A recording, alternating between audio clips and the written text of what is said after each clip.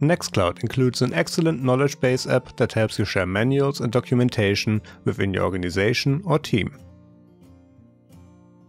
With this release, many improvements were made. For example, you can now reorder pages and assign emojis to them.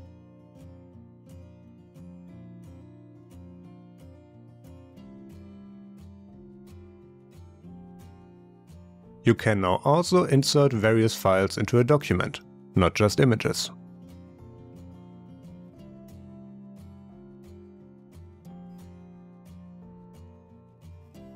Another improvement is that you can now mention colleagues. These features also work in text, the distraction-free Nextcloud editor for notes and thoughts. If you have a long document, you can see an outline to find what you're looking for.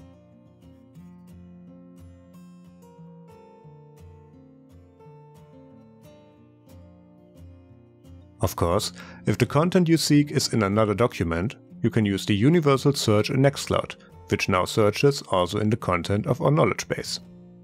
We hope you will enjoy using the new and improved collectives.